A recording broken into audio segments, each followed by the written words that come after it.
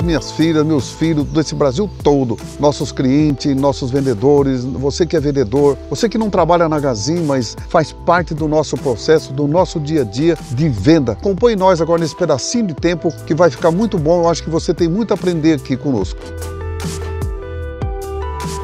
Ser diferente, gente, é você ser mais autêntico. Você tá ali, você abraçar todo mundo, você tá junto com todo mundo. E não adianta nada só você abraçar, tua equipe precisa abraçar. Eles é que tem que abraçar. Se você não amar seu cliente, com toda certeza, a hora que ele achar uma outra pessoa que ama, ele vai embora. Então a gente precisa amar nosso cliente todo dia, todo dia. O que, que é que nós vamos fazer hoje? O que, que nós podemos fazer hoje de melhor? E isso é muito importante. É isso que a gente tem que fazer. Quando botar o pé no chão da cama, já pensa no que você vai fazer de melhor para o teu cliente. Isso isso é muito importante. Essa é a diferença que a gente pode fazer do outro.